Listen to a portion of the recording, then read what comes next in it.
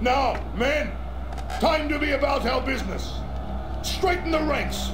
Look to your officers. Mark all commands when they come.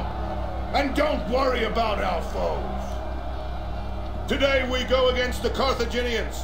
Their foul baby killing is only the start of their wickedness. So beware. In victory, they are cruel beyond words.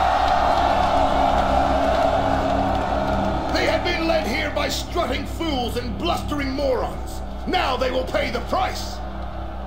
There is no advantage in numbers to either side. Therefore, skill and courage will be the keys to this day's battle. All that said, we are the stronger. Every one of you is better than they. Remember this and take heart from the memory. This day will see much cavalry fighting. Both sides are packed with horsemen. Is no shame in fear. There is only shame in letting fear rule you. Try not to look scared, and you'll find bravery in your heart.